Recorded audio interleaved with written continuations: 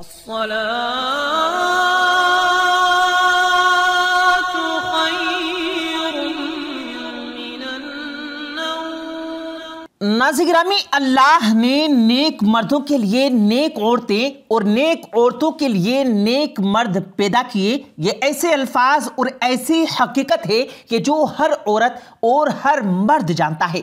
ये हकीकत किस सहाबी के लिए उतारी गई? ये अल्फाज किस सहाबी के लिए थे और क्यों उतारे गए? और ता क़यामत इन अल्फाज को कुरान में क्यों महफूज कर दिया गया? आज की इस वीडियो में इसी पर बात करेंगे और उस औरत के मुतालिक भी आपको बताया जाएगा, जो कि ये थी तो फाहिशा, लेकिन मक्का मुकर्रमा में रहती थी। और उसने अल्लाह के नबी के एक सहाबी पर जब डोरा डालने की कोशिश की तो उसके साथ क्या हुआ? इस वीडियो में हम आपको बताएँगे। सो, आप लोगों से गुजारिश है कि आज की इस वीडियो को आखिर तक ज़रूर देखेगा। उससे पहले अगर आपने हमारे इस यूट्यूब चैनल को अभी तक सब्सक्राइब नहीं किया तो नीचे रेड बटन पर क्लिक करके साथ में मौजूद बेल आइकन पर ज़रूर क्लिक कर दें ताकि मजीद अपलोड होने वाली वीडियो का नोटिफिकेशन आपको वक्त पर मिलता रहे। नाजिक ग्रामी मियाँ बीवी दुनिया का खूबसूरत तरीन रिश्ता है। हर मर्द की ये ख्वाहिश होती है कि उसको नेक और पारसा बीवी मिले और इसी तरह से हर औरत भी यही चाहती है कि उसको नेक मर्द मिले जो उसका ख्याल रखे और उससे मोहब्बत करे। ये दुनिया मुकाफात अमल है और उसमें जो बोएगा वो आखिर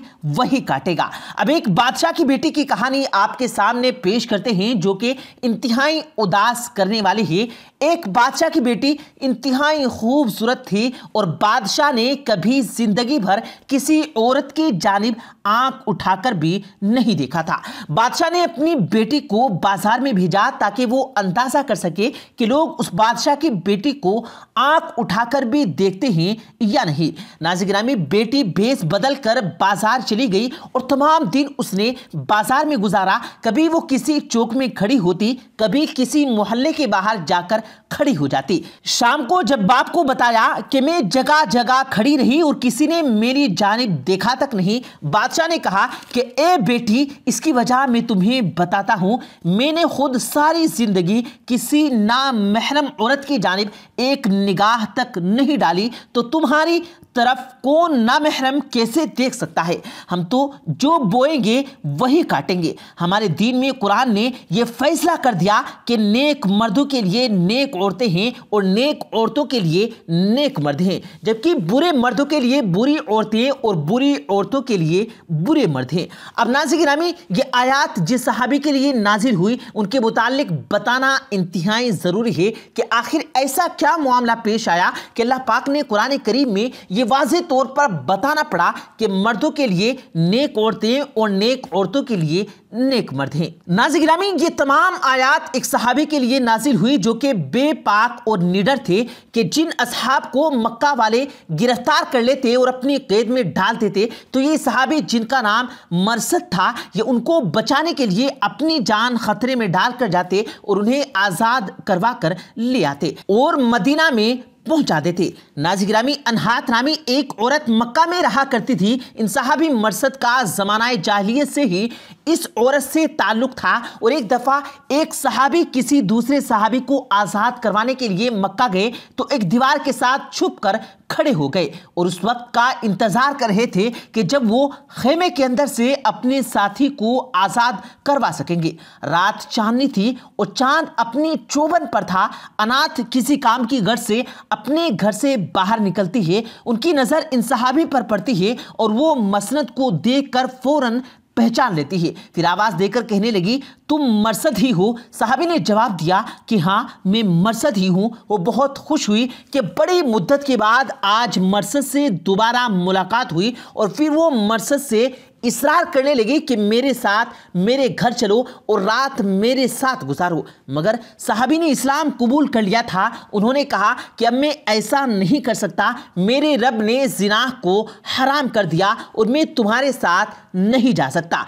अनाथ ने भरपूर कोशिश की कि वो मरसद को अपने घर ले जाए और उनके साथ आज की रात की बदकारी करे। जब उस औरत का बसना चला तो उसने शोर मचाना शुरू कर दिया और आवाज़ दी कि, ए खेमे वालों, होशियार हो जाओ, देखो चोर आ गया है, ये वही है जो तुम्हारे कैदियों को चुराया करता है। नाजीन लोग बेदार हो गए और उस आदमी को पकड़ने लगे। उसके पीछे भाग निकले। ये साहबी एक घर में छुपा और मक्का वाले उन्हें मुसलसल ढूंढते रह गए, मगर मरसद उन्हें ना मिले। मक्का वाले थक हार कर सो गए और अब उन्होंने यह फैसला कर लिया कि सुबह इस साहबी को तलाश करेंगे और अगर ये मिल गए तो उन्हें किसी सूरत ज़िंदा नहीं छोड़ा जाएगा। और मौके पर ही उनका किस्सा तमाम कर दिया जाएगा। नाजिग्रामी मरसद ने रात के किसी पहर घर से बाहर निकलकर यह फैसला किया कि मैं अपने साथी को तो वापस लेकर जाऊँगा। चुनाचे वो फ़ौरन खेमे की जाने बढ़े, वहाँ से कैदी को उठाया और मक्का से बाहर लाकर